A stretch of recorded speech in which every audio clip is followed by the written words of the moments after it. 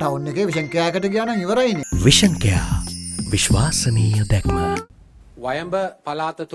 Investigations are underway with the support of intelligence services regarding acts of violence that took place in the northwestern province as well as Minuwangoda.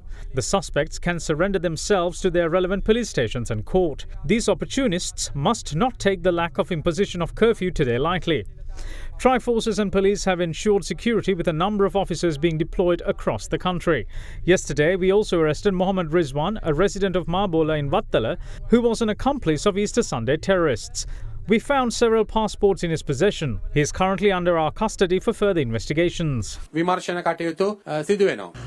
Meanwhile, one lane of the Kurunegala Colombo main road was open for traffic today. The route was closed after the tense situation in Minuwangoda recently. Ada Derana reporter on the ground said that daily lives in Minuwangoda has returned to normalcy with the improved security situation. Speaker Karu Jayasuriya meanwhile engaged in an observational tour in the area today.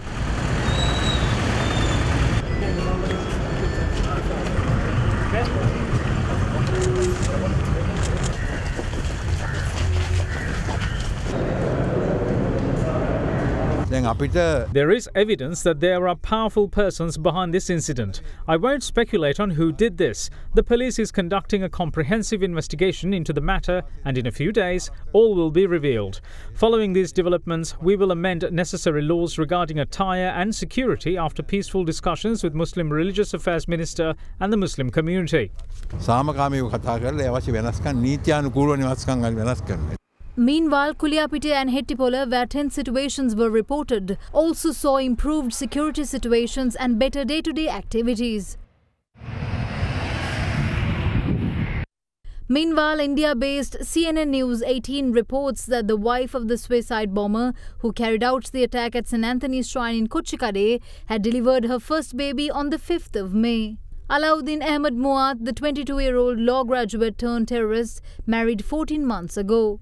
Meanwhile, two brothers of the bomber were taken into custody by the Criminal Investigations Department upon detention orders issued by court.